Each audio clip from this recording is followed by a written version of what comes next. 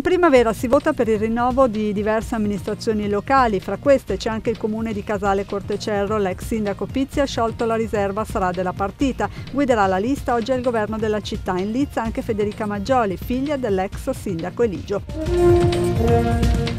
Assolti perché il fatto non sussiste i dentisti del COC di Omeni accusati di aver asportato tutti i denti a una paziente senza che fosse stata informata dell'entità dell'intervento. Anzi, il giudice ha disposto la trasmissione degli atti alla procura affinché valuti le dichiarazioni della donna che si era costituita parte civile al processo. Ora rischia di finire indagata per falsa testimonianza o calunnia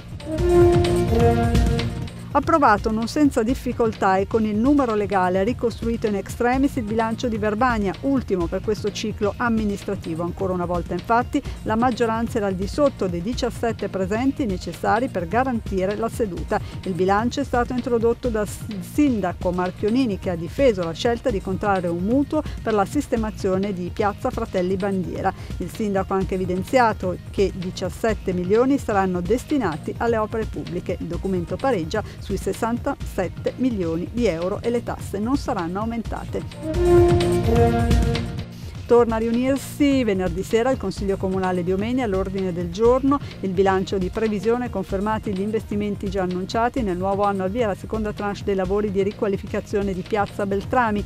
Nel 2019 si interverrà pure sugli impianti sportivi accantonati 200.000 euro.